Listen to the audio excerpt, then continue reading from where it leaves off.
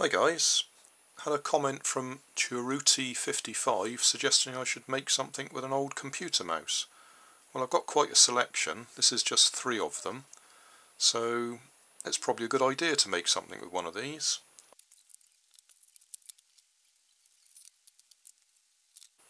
Okay, a few minutes desoldering, got a few electrolytic capacitors, a few ordinary capacitors, LED, four resistors, a couple of inductors, not quite sure what that thing is, say it had an X on the printed circuit board which I would have thought meant some sort of crystal or timer. And this variable, well I say variable resistor, it's something like that. That's the thing that the mouse wheel actually turns. And then we've got three micro switches. So my plan is I should just cut straight across the circuit board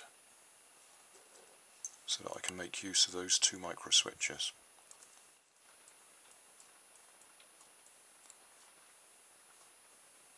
So, got to straighten this paper clip out and then bend it to fit the other side. That's the general idea. Just like um, the whiskers that's the plan to hot glue them in position there. I have to cut a couple of slots either side in the top of the mouse so they can stick out and then bend them around the front so they actually touch the wall or whatever when they bump into it. Got a couple of these electric motors came out of vibrating toothbrushes. I've used them on other projects, that's why they've got wires on them already. So the plan is to cut some holes in the mouse here so they can stick out at an angle one on either side and that'll be our propulsion and I should be able to get a 9 volt battery to sit in there 9 volts is probably far too much but it's the right size power pack. Just drilled a couple of holes either side there to give me somewhere to aim for while I try and cut bigger holes out. So there's the motors in place.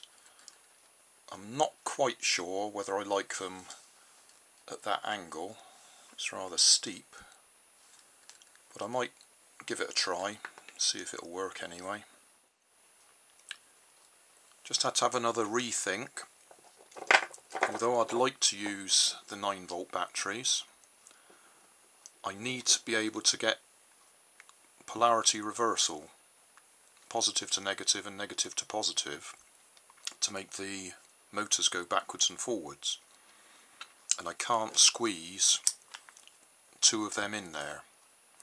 Nearly can, but just can't quite. So I'm going to have to go with two AA batteries and squeeze some metal contacts down either side. Okay guys, this is supposed to be one of those little um, robot things that bumps into things, turns round and goes the other way. Uh, it's not quite like that. Uh, I got a bit bored with the way it was performing. It's supposed to have two AA batteries in it you can see that I've squeezed two 9 volt batteries in there which is way over power for these motors. They're only supposed to be one and a half volts maybe three volts. But I just thought I'd have a bit of fun. So it doesn't really go the way it should do. It just goes a bit wild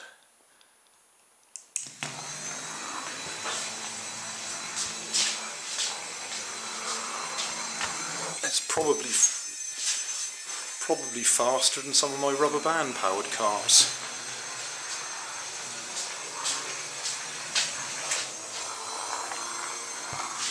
Oh, that'll do.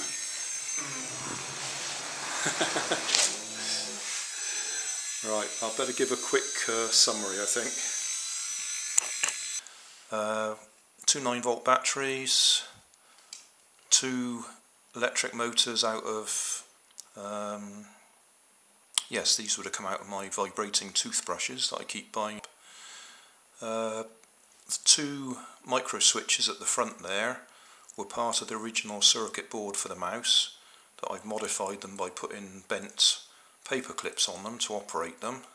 So they work like um, whiskers. And that's it really as I say it's a bit of a monster now.